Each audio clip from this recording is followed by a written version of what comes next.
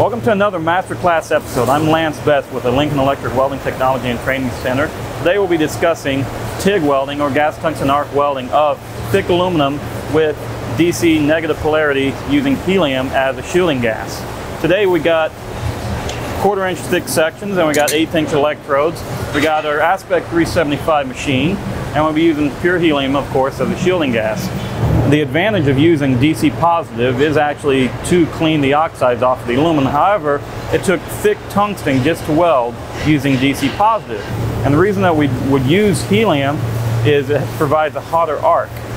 So the arc plasma of helium is actually much hotter than the arc plasma of argon, and that arc plasma actually burns or melts the oxides off of the surface of the aluminum. And those oxides on aluminum actually melt around 3,700 degrees Fahrenheit, whereas the uh, actual aluminum itself only melts at 1200 degrees. So since we're welding in DC negative, there's going to be a lot more heat, so you have to be more careful uh, with your uh, arc control using your, your foot pedal or your Amptrol. So here I'm going to run a demo for you guys just to, just to give you an insight to what this is about. Here we got our 6061 sections that I'm going to weld for you guys, a quarter inch thick material. Uh, I got my machine set about 200 amps, which uh, as you get near the end, it's definitely more than what you need to weld this. Uh, and then we got the pure helium shielding gas. Okay, the demonstration I'm going to give is, well, I'm going to show you, we're going to clean this up before we weld it. I'm going to tack it together, and then um, I'm going to run a weld bead or a bead from one side to the other uh, using this, all right?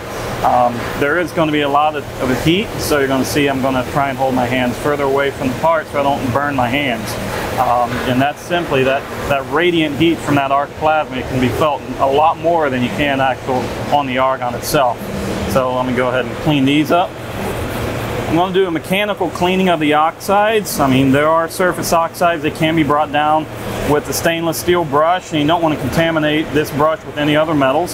So if you're welding stainless steel or, or mild steel or anything, and you're using a brush to clean them, don't use that brush on something else, such as aluminum or mild steel or anything else. Okay, that you need to have that brush just dedicated to what you're using it for. I'm going to clean this up mechanically, and then um, I'm going to actually tack it together real quick. Okay, the fill rod that I'm using is ER4043. Okay, and the base metal I'm welding is 6061 T6.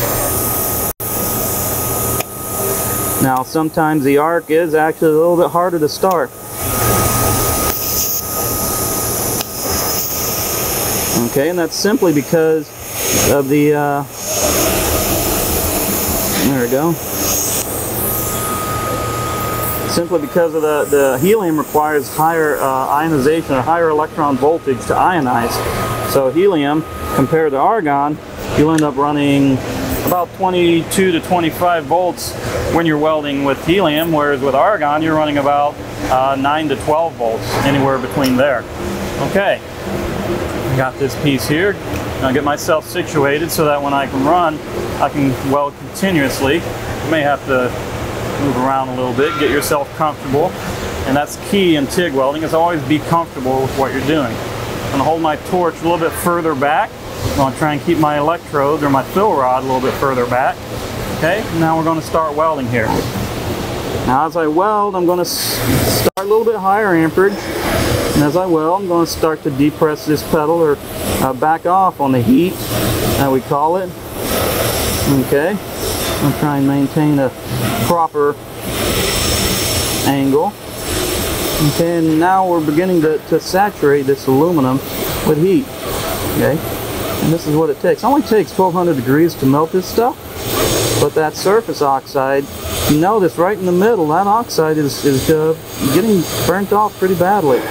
Um, but when you look in the edges, you will see all of the uh, the oxides kind of melted there. Okay, and that's uh, that's normal. It's a normal part of welding this. Okay. Now, I have my machine set at 200 amps. Um, that's maximum when your foot's all the way down, but I probably didn't even use that just to initiate the welding. And as I get near the end, I'm starting to back off more and more. Okay, trying to get this filled in, fill that crater in. Okay. uh, 23 amps at the very end of this weld. That's how saturated this is with heat, okay? Now if you look at the surface, notice down the middle it's silver. Yeah, that's where the oxides are completely burnt off. Along the edges, we still have some oxides. That can be mechanically cleaned.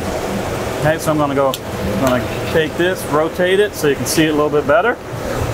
Okay, I see that right down the middle. That's where my torch was, and that's where the initial arc was.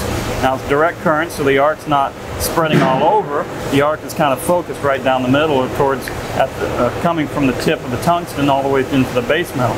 Okay, now something like this, just going to mechanically clean it once again. Get those oxides off of it. Make it presentable. Okay. Okay, and there we go. We have that stack of dimes look. Uh, it can always be better um, because practice makes perfect. That's what I personally prefer to do. I like to practice until I got that, that look down. Okay, this is once again, I don't often weld aluminum in DC polarity or straight polarity like this, but like I said, in a pinch it can be done. Now, for comparison's sake, I can weld up an AC section. So I can prepare a sample here just to weld an AC so that you can get a chance to actually see the etching line that's actually created while you're welding. Uh, this example here is going to be welding with alternating current. I'm still using helium as a shielding gas and you can do that with helium. You can also do it with pure argon.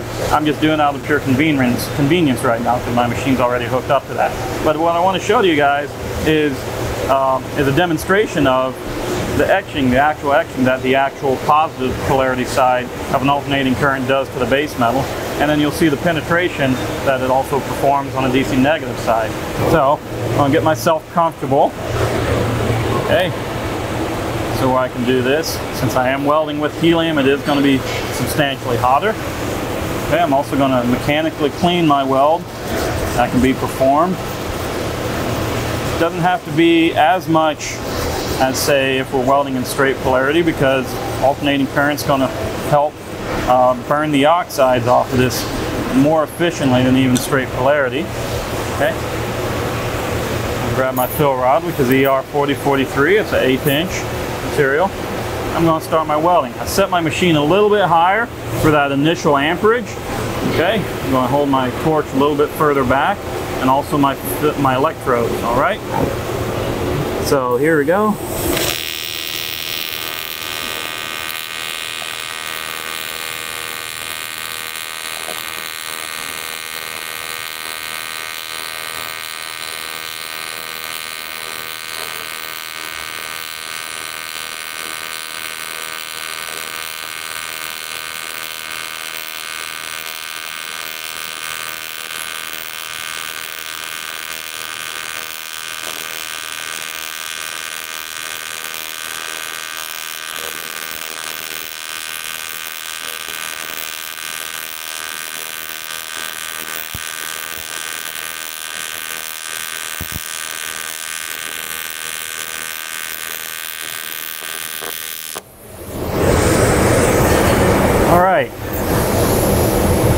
when I terminated the arc, I had about 84 amps going into that base metal right there. A little bit more than half, uh, more than double than I initially had when I was welding in straight polarity. Also, as you can see, that, uh, that AC wave etched the part that we were welding. So you see that etching line all along that edge. Okay, and the whole weld itself, the whole weld material, or the filler metal itself is very clean. Okay, that also got cleaned, all the oxides are cleaned off by the etching action. And then also I had good penetration, similar penetration, and slightly a little bit more control, simply because um, it, not all the heat was always going into the part. Okay, if you notice my tungsten had burned back a little bit, it rounded out on the tip. Okay, that's normal for AC welding. But I got a very, very clean surface of the actual weld itself. The oxides have been cleaned off on the surface as well.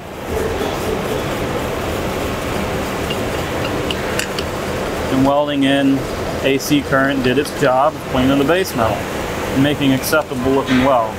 Okay, a little bit more heat involved, but this is welding in AC. This is what you're going to get with it. So thanks for attending another masterclass session.